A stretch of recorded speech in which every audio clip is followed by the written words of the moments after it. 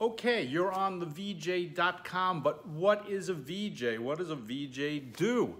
VJ stands for video journalist. That means a journalist or somebody who tells stories using a camera or in these days a phone and they do it in video. And that's what we train people to do. But what can you do with the skill? Even if you get it, what can you do with it? I want you to meet Brian, Eric, and Alex. They're three guys. Two of them were investment bankers. One of them was a teacher.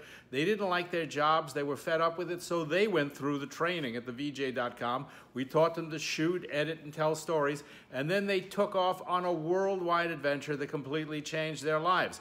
They drove a beat up old car from London to Ulaanbaatar, Mongolia, as part of the Mongol Rally, and drove 11,000 miles shooting video the entire time and telling stories, and made a 13 part television series for worldwide distribution.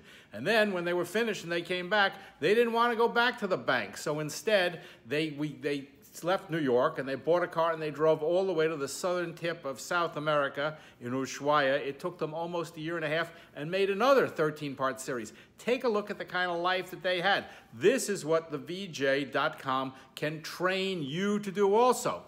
Here's Jeremy Curl. He's a British explorer. He was in the British military. He's a very interesting guy. We also trained him to be a video journalist. So on his expeditions, he took a camera and he created fantastic documentary series about his explorations of the Sahara Desert. You know, if he had to convince National Geographic to pony up a million dollars, it never would have happened. Because of the VJ, he can do it on his own. Finally, here's Filipe Leite. He's a Brazilian journalist. He rode a horse all the way from Canada to Brazil. It took him almost a year and a half. He took a video camera with him. He made a fantastic television series for worldwide distribution, also shot by himself. This is what the VJ really does. It changes people's lives. It gives you a new career. If they can do it, you can do it. And that's the kind of training we do here.